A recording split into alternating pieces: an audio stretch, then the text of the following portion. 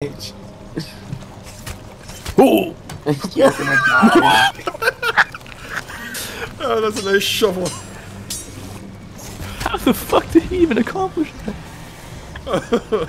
Oh my god.